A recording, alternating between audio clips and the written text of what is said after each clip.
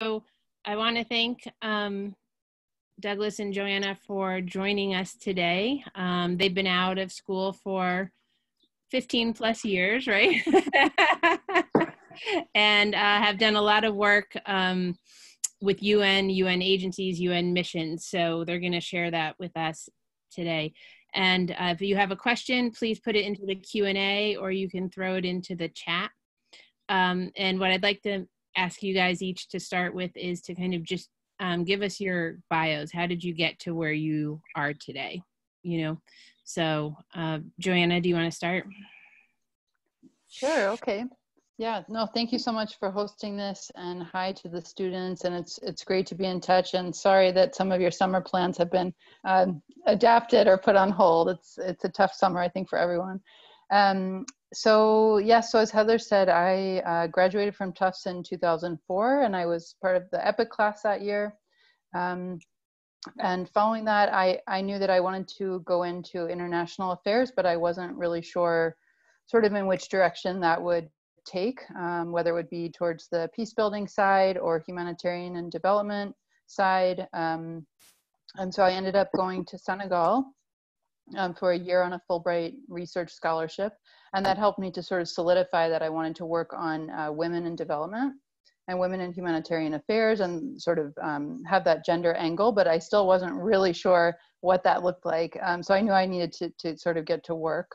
Um, so after that, I, um, I went for um, a, master's degree um, at Columbia in New York. And, and through that, I started doing some sort of more hands-on work. So I worked with UNDP in the Central African Republic, and then that led to um, uh, some other opportunities in Africa. And so um, basically I've been working um, in the sort of early recovery context or humanitarian context, mostly in Africa um, and the Caribbean as well. And then in the past um, few years or so, um, at a global level, advising UN agencies that are working in humanitarian affairs on their programming specifically um, across basically all the regions that they work in.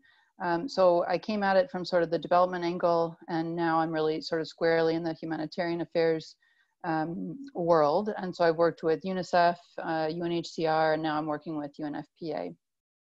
Um, so I mean, I started out, so you know, in, in, as a Fulbrighter, it was mostly uh, research, and then um, so I kind of came at it from from that angle, from the research angle. But I also um, knew that I wanted to work with NGOs and really have that hands-on sort of programming approach. So that's why I started with NGOs and then um, moved to the UN a little bit later in my career. So that's that's the summary. Great, great, thank you. And can you just explain? I don't know if everyone knows what um, early recovery. Sure. Yeah. There. So there are different terms now. I think we call it more the humanitarian development nexus, and even that is kind of a recycled term that's been around for a while. Um, but basically, I would just, um, you know, to differentiate it from from what Douglass will speak about, um, you know, we have peacekeeping in the UN, we have UN um, country programming that takes a more long-term development view and typically works with governments. And so some UN agencies um, have that development view and work with governments, and then they also do emergency response, which is the humanitarian side. And some UN agencies are really squarely in the humanitarian side of things, but they're being pushed to connect more with the more development oriented agencies. And basically the whole un is being um, you know encouraged to sort of bring those sides together. And that's been happening for a long time but there's been sort of substantial un reform lately that has brought those things together. So that's a roundabout way of saying that early recovery was one of the terms maybe 10 years ago for um, you know linking the immediate humanitarian response to thinking about long-term development linking to government programs and that sort of thing Mm-hmm. Um, and so that's continued to be to be really important. And of course, we see it today in terms of the COVID response that you have, um, you know, crises in countries that not only have development issues but also, um, you know, emergencies at the same time. So. Mm-hmm. Great, thank you, thank you, Douglass. All right, so uh, um, I graduated in 2002, and I did EPIC in 2000, 2001, and then I audited uh, in 01, 02. Um, after I, I, studied philosophy at Tufts and peace studies, uh, so as every good philosophy major does, I moved back home with my mom uh, after graduation and uh, then worked as a mediator. So I mean, my, my background is a little bit, I guess, you know, rooted in, in political activism. And so I was, knew I was very much interested in um, sort of interpersonal conflict. Uh, and that sort of, in a way, has come around full circle now in the work that I do now. Uh, but initially, it was doing victim offender mediation, um, doing that in courts and in, in prisons, um, and then also just sort of general activism and you know getting arrested in 2003 at the start of the Iraq War and that kind of stuff, which is more of my uh, uh, satisfied that. Uh, part of the reason why I was interested in in uh, mediation is that uh, violence has always been I don't know fascinate is not the right word, but it's always been a very important um, uh, thread, I guess, in everything. my mom is German, and I grew up in Germany, so a lot of the the way that I think about and approach the world is sort of in in the lens of of World War II and the Holocaust, and trying to come to terms with what that means, um, and trying to think about institutional ways in which we can respond to atrocities, uh, which is really very much a topic of this year's EPIC class. Mm-hmm. Um, so I worked uh, for a couple of years as a victim offender mediator in uh, local courts in Hartford. My mom uh, taught at Trinity, so that was very easy to go to live there and still show up for, for some epic stuff then uh, the following year. Um, then I went to Nigeria and I realized at a certain point, and I was working there doing uh, local uh, work on, on an inter uh, and on a communal basis in, in some communities in the so-called Middle Belt and in the Niger Delta. Um, and it occurred to me when I was looking for jobs and I was hardly getting paid anything uh, that every all the jobs that I was interested in that seemed really exciting to me all required a master's, where they would say master's required, PhD desirable, or something like that. And so I thought, oh shit, well, I guess that means I'm going to go back to graduate school, something that I thought that I wouldn't do because both my parents are academics. So it didn't really uh, make, you know, it wasn't something that, that seemed obvious. Uh, um, so I went, I did a, a, JD and then an LLM. Um, and after that, sort of during that time, the initial idea was to work in, in mediation and, and doing that. And so I thought that having a JD would at least make me sound credentialed uh, in the way that having a philosophy degree might not. Um, I still love having a philosophy degree, so I'm not trying to badmouth that for any philosophy majors out there.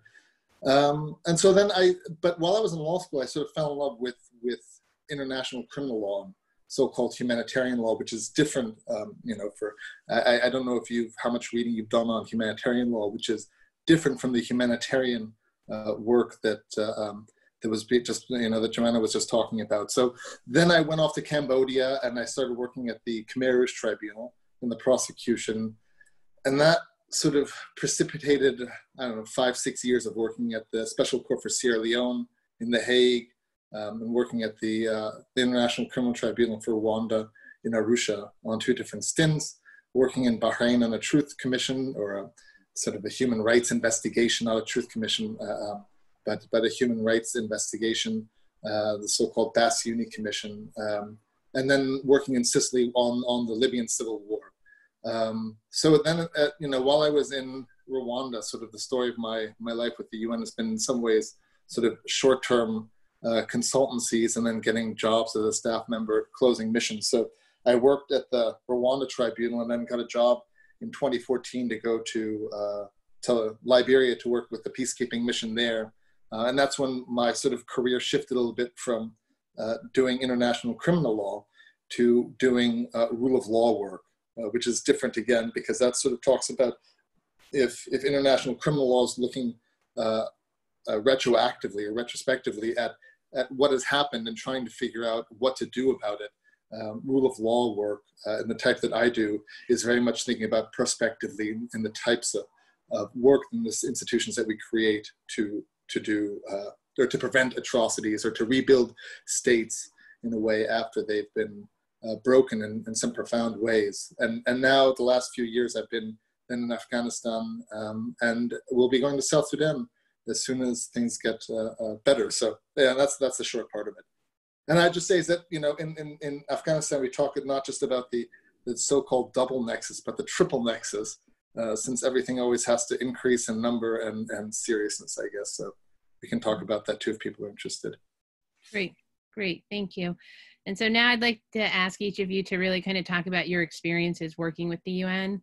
kind of, you know, whether it's been as a consultant, whether it's been hired as a staffer in missions in the home offices, you know, like what are all the the different pieces of that to think about if people are considering kind of wanting to work with the UN or going in that direction.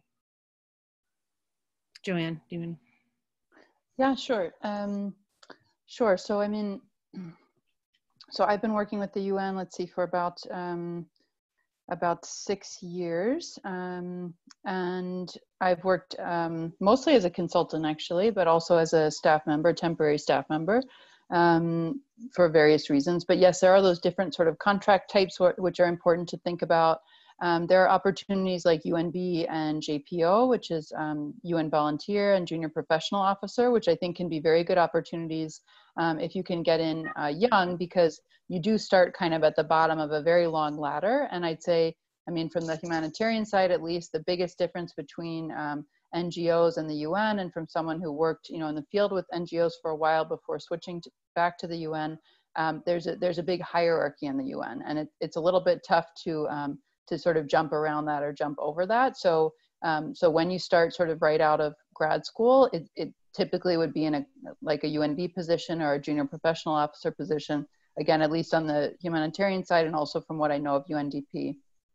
Um, but but those can be interesting entry points. So, for example, you know, it's, it's, Tufts has a very international um, student body. So, if there if your countries are sponsoring JPOs, I would really encourage you to apply. Um, you know, that being said, um, the UN takes JPOs who are, you know, I think up to 34, and they take people who are, you know, 33 and eight months. And you have people who've already worked as a lawyer somewhere or have done other things. So the competition is stiff. But I think if you can start that way, um, it, it's good. And otherwise, there's also the possibility of um, starting out with NGOs or with um, with civil society organizations or or basically just anything outside the UN and sort of coming in um, laterally when you develop a sort of technical expertise or perhaps a regional expertise um, that would that would make sense for certain agencies.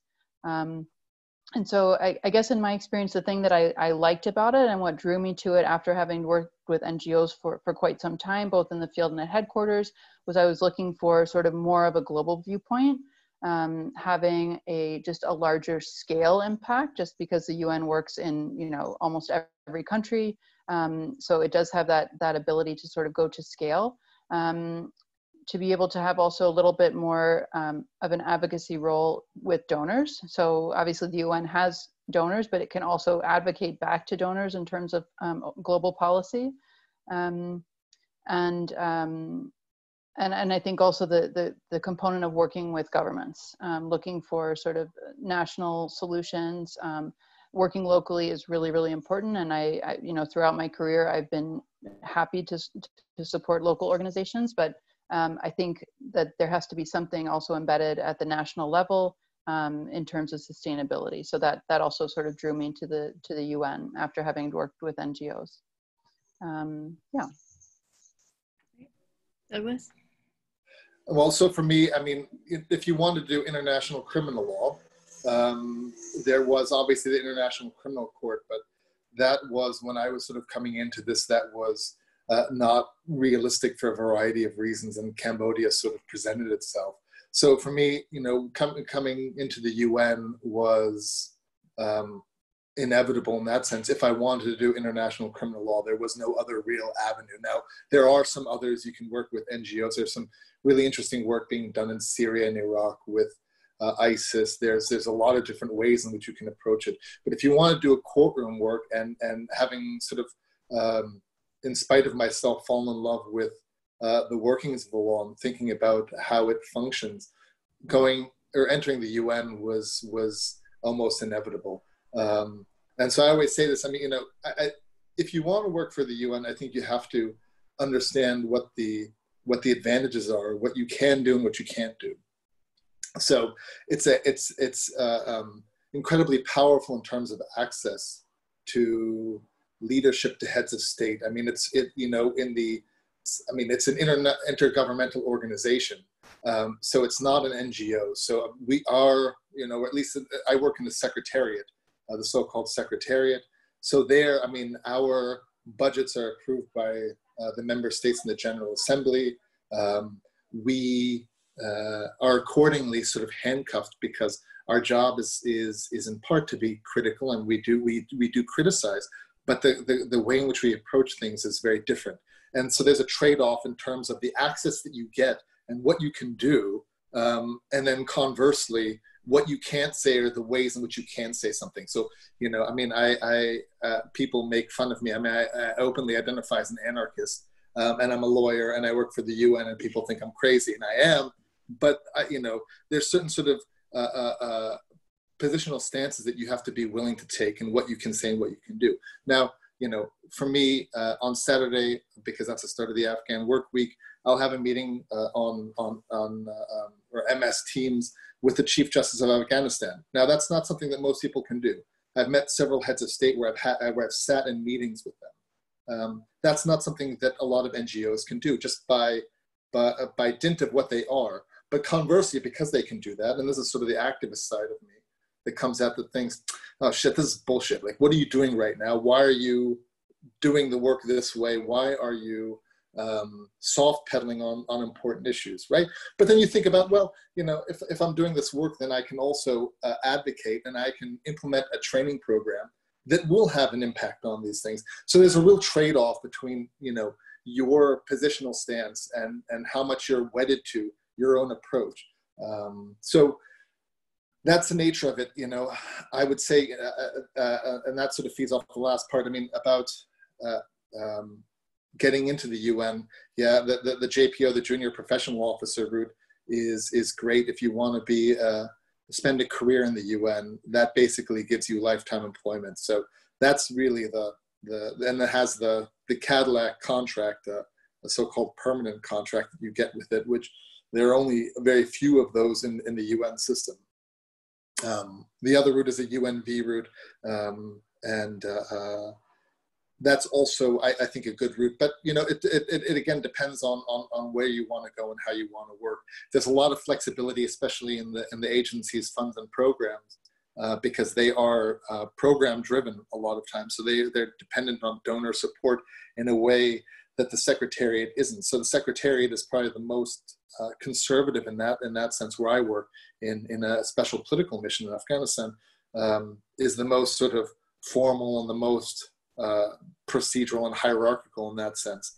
The lowest, you know, I mean, and then you can go to and, and, and maybe Joanna has a different experience of this, uh, um, having worked with UNHCR uh, and and, and other entities. But if you can find a project budget, if you are on the ground in a place where uh, the UN system is doing work, um, that that might be a way of getting into the system. But in the secretariat, which is my experience, it's, it's a little bit more conservative, I guess I would say. Mm-hmm. And can you can you both talk about kind of the differences in the impact of if you come in as a consultant, if, you, if you're there as a staffer, like what percentage of people are consultants? Say you're working on the ground in a mission versus in a home office type of thing. Hmm whoever yeah i mean i think it, you know for the agencies and funds and programs as douglass was saying i think it, it, it really depends on the agency and on a you know any given year um, there are quite a few there's a pretty high percentage of consultants i don't know what the actual percentage is um, but both at headquarters and in field offices. But honestly i would say i think for you know for, for colleagues who are coming in at the you know after, after having a, a bachelor's or even just right out of a master's um, mm you you can look for those um, you know good contracts but that that will set you on you know a certain path of of always looking just for those you know as douglass said cat, cadillac contracts and you might then also lose out on on really rich field experience which not only will make you better for the un but you know possibly bring you greater reward. So i think you know even for the un i would agree with douglass that um, you know starting in the field is is really important. Um, i have seen you know i've been in geneva for almost five years and i've seen quite a few interns who have just finished their masters and they're really fresh and ready to go and they start in geneva and they keep they're desperate to, to stay and to keep getting a job in the headquarters and i just want to tell them get out get out this is not it so mm-hmm. that's great i mean so if that's you know just knowing tufts and the kind of people that that go there and the type of people that end up in epic i think um, my biggest advice would be get out to the field get out there um, however that may be whether it's you know with an ngo or on a UNV contract um, or on a consulting contract. And again, once you're there, especially if you consider, I mean, places like Central African Republic, if you speak French, if you're willing to go to these places, Chad, I mean, you'll move up pretty quickly, which would be much harder to do if you were in Geneva or New York. So that's another thing to consider. So it's a little bit of both. You can think a little bit strategically, but also get really good experience um, in the field. Mm-hmm. Douglass? All right, so I, I, was so engrossed in the answer that I forgot the question, but I'll just riff on that then, if that's okay. I'm Being a little bit, you know, consultant versus staffer. And- oh, the consultant versus the contract. Oh, um, Your contract. Well, I would say, I'm sorry. At this point, I've been up. I've I've been sitting at my desk for 13 hours working today because I'm on Afghanistan time. So that means getting uh, sitting down at six. So I'm sorry if I'm a little bit um, uh, spacier than usual. Um, so yeah, I mean, I, I well, so in the secretariat again, which is my experience, in, there are, are, fewer consultants. My first job was in the secretariat in a tribunal as a consultant, working in Cambodia for $500 a month um, and no health insurance, um, which is sort of on probably the lowest end of the, the spectrum. And it was also the most fun that I've ever had um, working, um, prosecuting, and, and, and again, for me, sort of because of my uh, um, sort of internal sort of try, er, trying to reconcile with myself what it means to be German, what it means to to to to think about uh, atrocities and so on. I mean, it was it was super exciting, and also sort of because of my political stance, uh, um, thinking about how wrong the Khmer Rouge got things in the final analysis, um, and sort of trying to come to terms, you know, politically as sort of a a, a, a, civil libertarian, but then also as, as sort of a Marxist in that sense. So that was that was hugely fun, and I, I, would say don't preclude that. So I mean, you know, as as handcuffing as perhaps working for the UN can be, especially I think in the Secretariat, since it's a it's a political beast. Um, there are some really amazingly fun experiences that you can have, and I have never worked in in a headquarters. I mean, this is the longest stretch that I've had. Um, working in you know in, in Europe. I, I guess when I was doing the Libyan civil war, I was living in, in Sicily, um, so that was quite nice. But this is the longest stretch that I've had in seven or eight years of living in in, in Europe, um, or not living in, in, in Africa or Asia. So, and I have no desire in that in that sense to go to to, to Geneva, um, as much as my my mom would love me to to to get a job in Europe. Um, it's it's really uh, uh, fun i think being in the field because you can get access i mean in, in many places just because of the, the local context and the local circumstances um, there is there there i think is is, is more freedom in, in some circumstances uh, to, to get involved. I mean that also means you have to be sort of more conscious because you are an outsider. I mean i think that i am free to say things about the US or about Germany in ways that I don't feel comfortable saying about Afghanistan or Liberia uh, because it's not my country. And so, I mean, you know, in that sense, you might want to be, you have to be culturally delicate about it. But, you know, the, the amount of access that you can get, I think, and the amount of, of impact and also working with people um, is, is, I think, much higher in the field. So, in that context, you know, I would I would definitely try to to go through the, the field route, um, and then mm-hmm. you know if you're if you're like me and then you know you're uh, uh, don't have you you end up I mean, it does have a consequence on, on your life and your, your, your sort of personal life and your friendships uh, um, because, you know, I spend all of my life in places where nobody can visit me. Um, and I live in armed compounds. And that has a certain sort of toll as well of working the field. Maybe it's different in the Central African Republic. I think there people live in Bangui in the city itself. So, you know, it, it but again, I guess, yeah, uh, consultancy is good. If you can get a job, good. But go wherever go wherever your heart leads you and wherever you're curious. I think that if you're if you're fascinated by something, that's always the best thing. And if you are fascinated by, by a job in New York on the sanctions committee or wherever it might be with UN Women talking about their global coordination on rule of law, um, and the so-called global focal point or something like that, then do that. I mean, that's that's because that's that's fun. That's that, that's the exciting part of it. So you don't have to go to the field either. Um, I'd say just do whatever your your heart tells you and your mind tells you to do. Great. I mean, I guess one of the things that comes up in thinking about that is sometimes people are in school or they're leaving school or maybe grad school and they think there's kind of a a straight line options to things, right? And I wonder if you both could talk about the role kind of opportunity or serendipity played kind of in in where you ended up or how you found your choices Okay. everyone yeah, no, I, let me come back. I just wanted to come back on something that, that Chuck said because I think also at some point, and and you'll you know you'll think about this if you're working for NGOs as well. Um, you know, sometimes you you come back to Europe or to to your home countries also for different reasons, and so um, there's always that later. So I mean, I have two small kids now, so it's just a little bit easier here than in some other places. Um, like I wouldn't want to be in a non-family duty station and be away from them, but some people are willing to do that. So these are also questions that will come up, you know, down the line, especially for those who are still undergraduates. Um, and I certainly was not thinking about that when, at that point or in my 20s, but um, but it but it comes. So it's a question I think for any of these um, jobs where you're really, yeah, working at the front lines, so to speak, um, and mm-hmm. trying to find that balance. Um, but in terms of serendipity, and I think this links, I saw that there are a couple of questions in the chat box just about, you know, if you can't get in through the JPO side, and I, I didn't, I had applied as an American, and I think I got to the final interview for one, but they're very competitive, and there weren't many American ones at the time.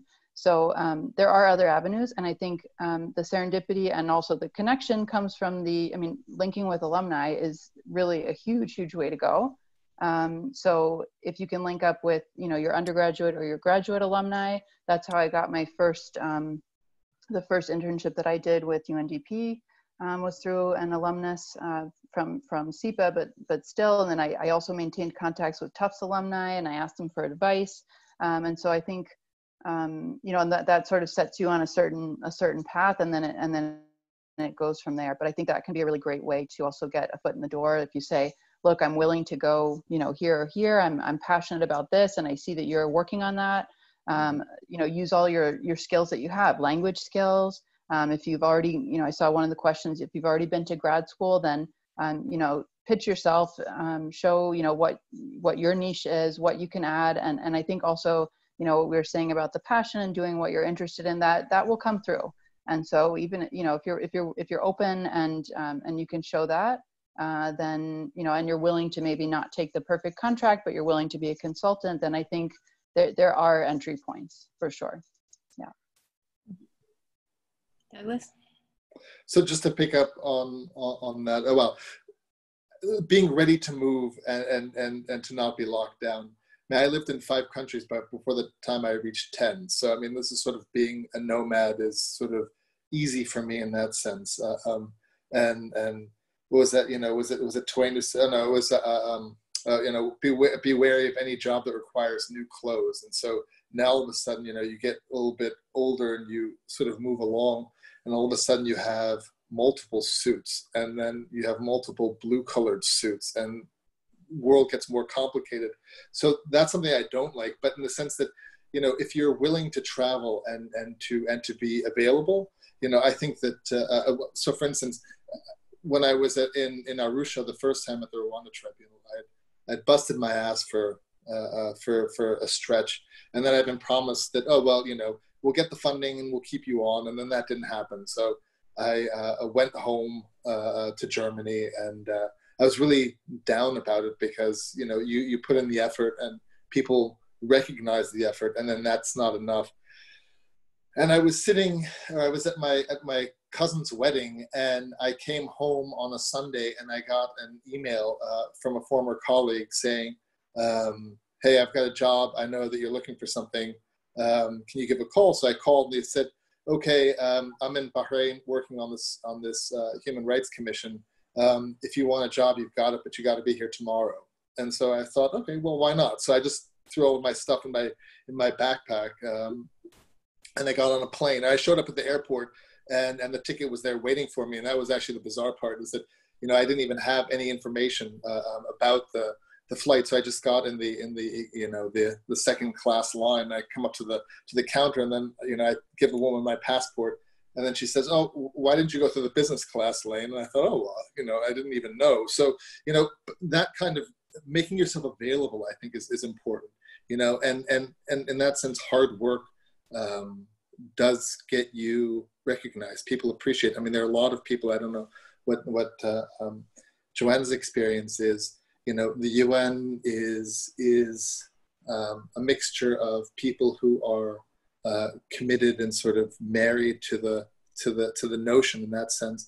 But there are also a lot of people, and this is a hard thing, you know, for me sometimes, since since I do think of myself as being very ideological in that sense, in in, in a positive sense, um, is that you have a lot of people who are there because you earn better than you do in NGOs, and you do earn better than you do in a lot of other positions. Um, uh, although not always, if you work in American law, private practice, you'll earn more than you do in the UN. But there are a lot of people who are simply working for a paycheck, and that's and that's hard. So if you um, bust your ass, then people will also recognize that, and they'll be they'll work to keep you around.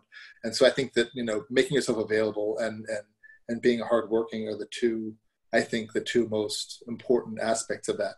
Um, obviously, being smart is important. Being interested is important, but but really, industry I think uh, um, gets you a long way. Mm-hmm. And can you talk a little bit about um, kind of having both kind of soft skills and hard skills, and kind of what's helpful to have or what's helpful to develop, whether you're still in undergrad or you're going to grad school?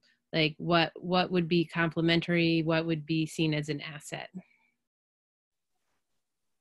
Sure. Yeah. I mean, I think on the on the programming side, certainly the social science research skills um, are really important. Um, I mean, if I think about you know between EPIIC and Professor Penvenne, who's now retired, but who was basically my inspiration at Tufts. Um, I mean, I learned I think everything that I know now about um, monitoring and program quality and things like that. That started at Tufts with just the social science research either in the history department or in international relations and i'm sure they have even a much broader spectrum of things now so i see the question also about you know having a background in research and so i mean i think it really depends on what you want to do. I did consider in graduate school i, I wasn't sure if i should do more of those qu- quantitative courses um, you know statistical methods and things like that. And i did the basics but it just wasn't really my thing. And i think then the question is you know what do you want to use and what do you want to do? So now you know I, I certainly supervise research and i hire consultants and i've been a consultant even for a couple of years myself but i didn't do the, the quantitative research because it just wasn't my passion um, so i think that's also important. So if you think that there's something that you know you should have the basic skills in then then certainly do it. But if if it's really you know not something that you think you could see yourself doing in the long term sort of on a day-to-day basis um, then then you know go in a different direction and and try to get the other skills that you need. So i think i mean having a background in research certainly didn't doesn't hurt. And um, you know for me it helped me to also refine what i was interested in um, and again for programming i think there you know in humanitarian programming and in development programming there's more and more of a push now to show results and to show outcomes um, and even if you can contract with different you know digital service providers and different researchers and things like that, you, you want to have the basic knowledge to be able to oversee that kind of work. I think it can be helpful. Um, but, um, but yes, I mean, I think the, the sort of mix of skills that you can get in the social sciences at Tufts is, is pretty good. And you can top that up with a grad school degree if you're, if you're looking at programming. Um, but I, I also have colleagues who, who don't have that background at all, and they've, they've certainly managed to move ahead in program management. Mm-hmm. Douglass? So for me, I don't have any quantitative skills. I don't have a background in any of that. So for me, doing the work that I do, you know, the I guess the hard skill was getting, uh, becoming a lawyer, getting credentialed at least, and you know, for better or worse, the world uh, you know looks at the number of degrees that you have. Um, I think in the UN, you know, the the um, the P11 or the personal history profile that you use to apply for jobs before you even get to what you've done lists your, your academic background for better or worse. Um, but, you know, so if it, depending on what you want to do, you might have to go and, and, and, and get a specialized degree um, in it. Um, I think that also, you know, I mean, part of my part of my I, I, think my personal value i mean i don't i don't have any great illusions about how I, how good i am as a lawyer i think i write well um, I think that you know I'm smart enough, but I'm certainly not the, the smartest person around. Um, but I think that the, the soft skill of, of, of, being able to forge effective relationships, um, I think is really is really important because um, you do have to you do work, or at least in, in the UN context, where your um, effectiveness is based on the relationship, or at least in, in the secretariat context and political mission, is the, the the relationships that you build with government counterparts. and sort of navigating that, you know, and my boss, who is, you know, a really great lawyer, um, is smarter than I am. She often dispatches me to sort of fix relationships and, and to sort of get things done in that sense. So I, I you know, I, I think that that's, that's the other skill to have is, is to be agreeable, I guess, to people as well. And, you know, that's, that's a, that's my, my, my way is sort of being self-effacing and, you know, joking about going bald and, you know, being old and all of those things. And, and, and, you know, that, that works for me. And I think everybody sort of has to find that, that sort of skill because there are also jobs. I mean, you know, uh, there was a, a guy named Tochilovsky at the, at the Yugoslavia tribunal and he spent his entire life um, as, as a so-called P4, which is, you know, senior, it's not the top. Um, but he had an encyclopedic mind of, of, of case law. Um, and so he could say, oh, you'd go to him and ask him for a specific problem. And he would say, oh, look at, you know, page 12 of this pretrial motion or the decision on pretrial motion in case X. And you'll find there the answer to what you need and the citation you need. And there are people who have that, that sort of skill and that's their value. And then there are other people whose value is really to, to be to be a mensch in that sense. And, and that's sort of, I think, where I, I fit in. I mean, I think I'm, I'm a good enough lawyer. I, I don't want to disparage myself that way. But again, I think just being, being able to, to, to get things done and to, and to facilitate those relationships is, um, is also an important sort of soft skill, if that's what you were asking for in soft skill. Yeah, no, it's, it's, yeah, exactly. It's like, and part of that kind of networking and building relationship yeah. right so that you can you can build on that um, and just going off of that one of the questions um, is for you douglass on how does your jd and llm degrees how do they support your work in the un you know with the tribunals and other agencies and in the missions like is that you know what is the critical piece for you in being where you are well, I think you know, obviously, I work as a lawyer for the UN, so you know, having that, it's it's maybe the law is is one of the most um, uh, uh, uh, has the, the, the greatest divergence in the way in which people approach problems. Um, one of my uh, one of my colleagues in the office, I mean, I'm a common law lawyer in the sort of the, the Anglo-Saxon tradition. Um, mm-hmm. One of my colleagues is a is a Kenyan or two of my colleagues are Kenyan and, and one is, is Austrian. And so, and then we have a Sharia law scholar and we have a, a civil Afghan lawyer who doesn't use Sharia. And so then trying to reconcile very different modes of thinking about, about problems, how to approach a problem. Because mm-hmm. my first, my first uh, instinct is to go to American constitutional law or American criminal procedure law, which is a lot of ways similar, but also has has has big uh, uh different approaches to it. So, for instance, right now, um, we are, because of, of COVID, we're talking about the introduction of remote hearings in, in Afghan in Afghan courts. And the way an Afghan trial works is, I mean, so is so radically different from what I understand as a trial. So in, in, in Afghanistan, the prosecutor interviews everyone, puts together a case file, gives it to the judge. The judge reads it, maybe gives it back to the prosecutor for more evidence then calls everyone in. Everybody makes uh, an oral submission, where the defense might make a, a written submission beforehand on the case file. And then, you know, basically the prosecution gets up, says its piece, the defense gets up and says its piece, the judge asks some questions, the accused person gets up and says her piece, and then the judge issues a verdict, which is so radically different from how I conceive of, of a trial working. And so then thinking about, okay, so now I've got to put myself in the context of working in, in, an Afghan court. And then also thinking, well, what are the, the mechanisms for doing a video trial and how would that work and having parties in different places. And so there's a lot of those, those questions, but of course you always go back to your, to your uh, well of, of, of, of, your training. But I think in the end, for me, you know, being a lawyer and, and studying philosophy, I guess in that context too, is just thinking about how to approach problems and, and thinking about thinking about things, I guess. And that mm-hmm. second order uh, uh, uh, approach to problems um, has been really, I think, the most important part. And, and being beaten into submission as a, as a first year law student, especially in that first semester, is a is a, is a is a painful experience. But it also, you know, it, it breaks you in a lot of ways, and you get rebuilt and think about uh, problems in in a different way, maybe worse, maybe better in some ways. So you know, for me, I think it's indispensable for what I want to do, although not always because, you know, uh, American constitutional law, for instance, has no bearing on the way in which um, a, a, case might proceed in Afghanistan.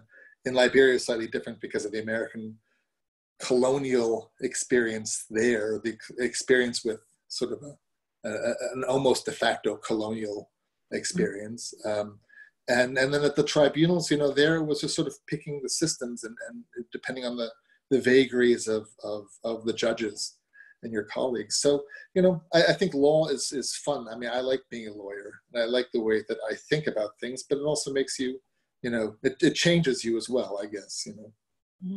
That makes sense. I don't know if that responds exactly to the to the to the question. So if I ever do, just say Hansen, you know, get on track, and then I'll shut up. no, it's fine. And then uh, Joanna, for you, uh, so a question about you know how valuable the research you did during your Fulbright was in terms of next steps, whether grad school or, you know, the NGOs or the UN? Yeah, I mean, I, kind of talked about it in the in the last question as well, but I think, um, I mean, it if especially if you have a, a, topic that you're passionate about, I think it can um, it can help to sort of refine your thinking. Um, you know, if you're working, especially if you're doing field research and you're working with local organizations or international NGOs, that can also be an interesting way um, to enter into into some of those um, kinds of organizations as well. Um, and um, I mean, certainly, again, having having access to and working with um, you know national academic institutions, as I as I did on the Fulbright, and um, and and local women's organizations or other sort of local networks is also you know it's an, it's another way to do that so it, it can be mm-hmm. really interesting in that sense as well so mm-hmm. i think i think it did help me and then um, you know maybe if you have that experience then you may not need to do as many of those kinds of classes in graduate school or vice versa. If you don't do research in the field you might do it in graduate school. I know for example now at, at SIPA where i went at columbia they um, they they have a, a, a, required course that all um, development and humanitarian students have to take where they're doing um, sort of a, a, pro bono consulting project which typically involves some kind of research as well. So um, mm-hmm. I think you know it comes in one way or the or another, but um, definitely do you know try to focus on something that that's of interest to you. Mm-hmm. Great. Okay, uh, another question is uh, that I think Joanna you mentioned having read, but what advice do you have for a grad student who is later in their careers and too old for the junior officer program? What avenues would you recommend for getting into the UN system? Yeah, I mean, from my side, as I mentioned, I think that um, you know linking up with alumni is really a smart way to go. Um, you know, if you just apply sort of cold, you know, through UN um, websites and you don't have any connections, um, sometimes that can be difficult. Um, you know, I'm speaking on my personal in my personal capacity right now. So it's it's not that if you know someone that means you get a job, not, not at all. But um, but if you um, you know if you can if you can understand a little bit better the context of where that you know what that role is um, mm-hmm. if you know sort of the kind of experience that's being looked for and if you've already had some you know internship or consulting experience with you know the team that you're looking at um, because there's so many different sort of niches that you can have within the UN system as you've seen already you know so far um, I think that that can really help so if, if you can um, work through alumni or um, be able to get you know small projects at least or your first foot in the door or your first internship in that way. Um, even for grad students, I mean, I started as an intern after grad school with you know some tiny stipend, and then from there was able then to get sort of first jobs, real jobs. Um, then that was yeah, I think that's a good way to go. Great, great. Um, Douglass, anything to, did you want to add to that or? Okay. So um, another question is, to what extent have you considered working for your own national government versus staying at an international organization? We're both fine. Douglass, do you want to take that first? uh, yeah, well, I, you know, for me, working, well, uh, my boss in Liberia for, for a while was uh, an American uh, State Department lawyer, and she then tried to afterwards recruit me to go to it was Rhode Island, the Naval Defense Academy or something like that to Naval go and do work. So, yeah, the Naval War College. There you go. uh, uh, you know, and and she was a a, a D1, and I mean fairly senior then also in the State Department when she went back, and then was was seconded from there to the uh, um, to, to Rhode Island. Um, and then she wanted me to come, and and and it was very hard to tell her without seeming sort of insulting about her. Is that there's just no way that that I could that I could work for uh, the federal government. Um, you know, even even under under the previous president, that was just for me because of, of, of my approach to the world. It would have been impossible. You know, my my father. Um, was was you know declared before they uh, introduced conscientious objectors in, in, you know in, in the U.S. during Vietnam. My father before that was declared, uh, um, I think you know mentally unfit for combat because he refused to to to, to be drafted in the in the early '60s while he was in the civil rights movement. Um, so it just it was inconceivable, and even now, you know, having to it's it's and I, I say all this off the record, so please don't. Uh, um, sort of comment too loudly on this uh, to, to, other people is it, you know look it, again it depends on what you're willing to do i mean i'm i'm, I'm sort of an internationalist i don't um, I, have I've spent parts of my life in the U.S. I've spent parts of my life in Germany. You know, part of me, the, the sort of the German experience is that you know governments can do wonderful things, but governments can also do horrible things. And I'm uh, aligned to I think principle um, rather than patriotism in that sense. So uh, you know, for me, working for a government uh, at least working for the UN, I've never had a problem so far where I've had to uh, support a position that I don't that I don't support.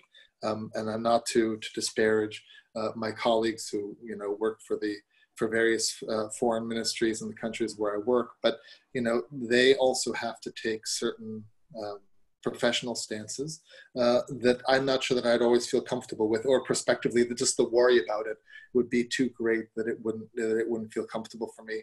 And that's again just a function of, of, of who I am and, and, and sort of the way in which I look at and approach the world. And I already feel somewhat uh, uh um, out of place sometimes um, when when I you know working for the UN, not quite being sure if that's quite the right place for me politically. Mm-hmm but I think that at the same time, you know, we are dependent and uh, in that sense on our uh, colleagues uh, um, from from from national governments, and a day doesn't go by in which I don't call up the head of of INL at the U.S. Embassy uh, in, in Kabul, and we have a very good working relationship, and we're friends. I mean, he invited he, he invites me to some some social gatherings that they have. Um, and getting into U.S. embassies anywhere in the world is a royal pain in the ass. So sometimes I just decline just on logistical basis but at the same time it's just what you can what you can reconcile yourself to i think is the ultimate the ultimate question and there's dignity in doing that work as well and i think standing up for institutions and right now uh, you know speaking sort of very politically i think right now more than ever there's there's a need to strengthen institutions and to really ensure that they have um, the strength to resist i think a, a real onslaught on on on them. Um, and, and so in that context, I think it's also, you know, working for the government is dignified, doing right is dignified, uh, being principled is, is, is, is dignified um, or dignifying. Um, but it all just depends on what you feel comfortable with. And, and for me, I, I don't think that I would feel comfortable um, working for any, any government, mm-hmm. national government. Gotcha. Gotcha. Joanna? Yeah, no, I think it's I think it's a good question, and I, I'm not sure if the person who asked the question was American, but um, certainly for you know the, the U.S. State Department, I had a number of colleagues, and um, especially from graduate school, who went on to work from the, for the State Department and came from very um, diverse backgrounds, even though you know from from within the U.S., but um, you know with different many of them with with dual nationalities and um, so I think there's a lot of work to, to be done from the inside for sure. Um, and, and the same could be said for the UN that, um, you know if you if you're looking to to make changes as well in in big bureaucracies that could be within your um, your national government um, foreign you know foreign affairs department or um, development departments um, or it could be within the UN um, or even some of the larger NGOs so um, so there certainly is work to be done in, in that way. Um, and I also have a number of colleagues who've um, gone back and forth between their um, various national governments as well. So France, Italy, um, the, the Scandinavian countries, the UK, they have um, quite strong sort of um, rosters and cohorts of, of technical experts in humanitarian and development affairs. And some of them, for example, the Norwegians and the Danish even have um, standby rosters, they call them, where they deploy um, people to the UN. And so, you know, if that's a possibility as well, sometimes you don't even have to be a national of that country. So it can also be another way, actually, I should have mentioned it earlier, to, to, to even an entry point to the UN um, in different areas so um, so yeah i mean i think i mean for me i just i was interested in international ngos and the un for its sort of intergovernmental nature um, as douglass was saying sort of being the the sum of its parts in that way. Um, but i think there's also of course um, interesting certainly interesting technical work to be done um, on behalf of, of um, national governments. And then you know eventually i think once you you move up to a senior enough position then you can also have sort of an advocacy role to play. But maybe it depends on the personality as well and sort of your level of patience um, in order to get to that level. So I think maybe I was a little impatient after getting out of grad school. yeah. Nice. Okay. Here's a question. Um, thank you both for sharing your experiences. I had some questions about the humanitarian field.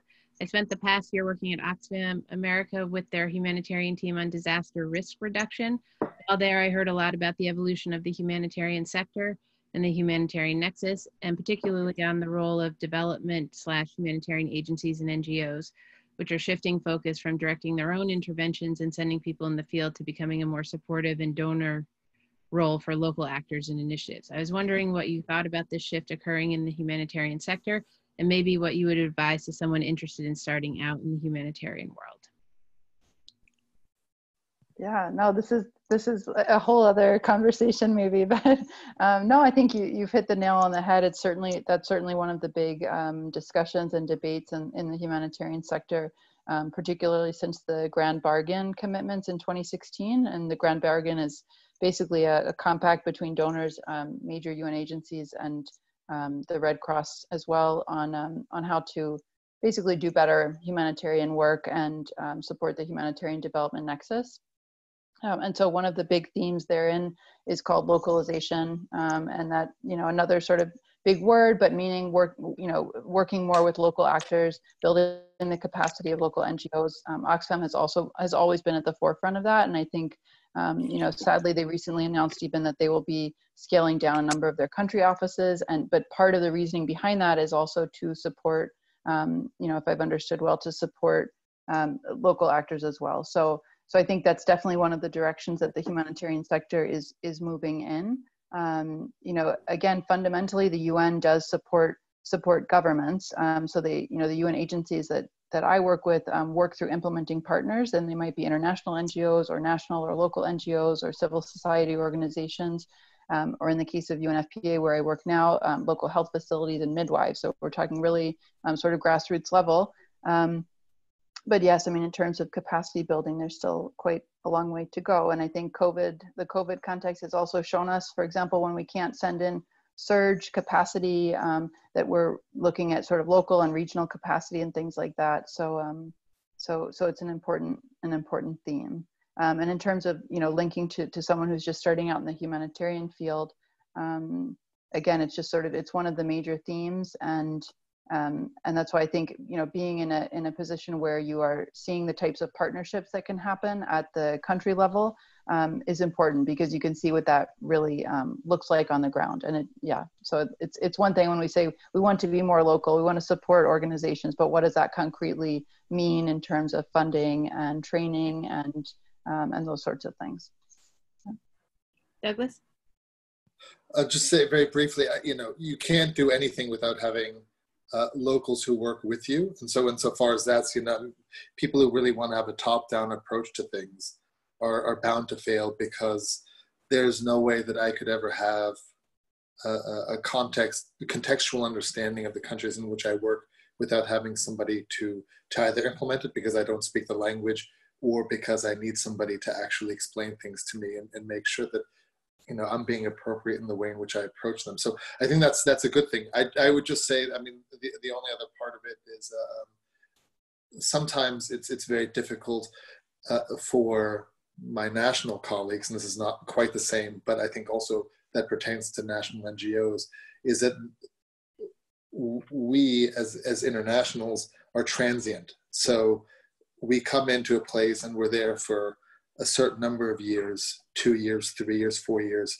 And that has its drawbacks, but it also means that we are free sometimes to go into meetings and say something that a national couldn't because she has to live there and she would then have to face the minister or whoever and that minister would look back at her and say know so there there's certain sort of contexts in which i am free to say and do things that um, that, that a national couldn't so you know it's a double-edged or you know it's a both and not either or i think but in general um, in, in implementing things uh, and this doesn't apply to the secretariat but i think in, in, in agencies funds and programs having someone on the ground who who is there who has a long-term investment in the country and being in the country is is indispensable um, and needs to be supported more and, and thinking about this synergistically.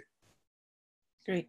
And our uh, our last question is: um, Has the hierarchy, bureaucracy, international politics involved with working at the UN ever been frustrating for you?